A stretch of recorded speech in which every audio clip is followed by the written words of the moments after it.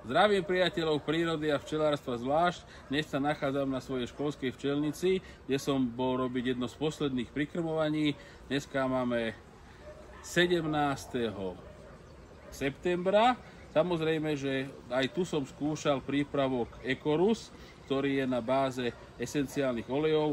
Tento prípravok som tam dával pred tromi týždňami, ešte stále pekne vonia, ale čo ma prekvapilo, je tu stále dosť klieštika, že keď sa pozriem aj na tieto jednotlivé podložky, samozrejme podložky už boli pred týždňom asi čistené, keď sa pozriem na tieto jednotlivé podložky, tak aj stále po týždňovom čistení, samozrejme ten Ekorus tam už je 3 týždne, pred týždňom som čistil, že stále je tu relatívne dosť klieštika napadaného. Toto je bolo relatívne v pohode, ale tu mám ďalšie včelstvo, je toho klieštika aj o mnoho viac, že tu keď sa pozrieme, tých klieštikov je tu niekoľko desiatok, možno 100, možno aj 200 klieštikov, lebo toho klieštika na tomto včelstve je stále, stále dosť. Samozrejme, že aj je tu dosť ešte produkt v tých včelstvách.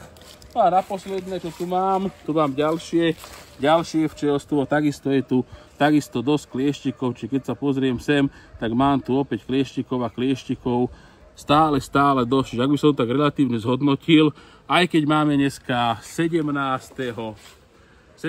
septembra. Včelstvá sú už nejakých 80-90% zakrmené, najmä tu. Teraz sa nám trošku oteplilo, pršalo. Ešte niektoré včelstvá majú relatívne dosť plodu, niektoré nám možno na 2 rámikoch, niektoré na 3 rámikoch, ale o väčšine prípadov je to menej. Sem tam nejaké, nejaké včelstvo má ešte nejakých 2-3 dm aj otvoreného plodu, ale o väčšine prípadov už tie včely, už tie matky obmedzujú to kladenie, už sa liahne posledný plod, už má väčšinou zakrmené ale toho klieštika tu je stále dosť. Toto je stanovište, kde som liečil, čiže nebolo tak, že by som tu neliečil.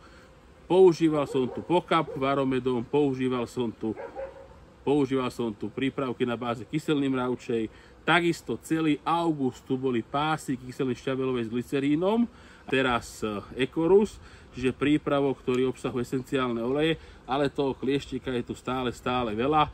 Čiže takisto tento rok na niektorých včelstvách viacej, na niektorých včelstvách menej, bude toho klieštika dosť.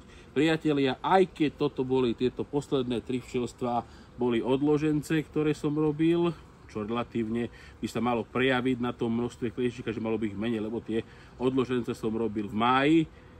Stále toho klieštika je tu dosť, čiže dá sa povedať, že pravdepodobne budeme mať niektorí včelári dosť veľké problémy s klieštikom počas tohto roka alebo počas prezimovania.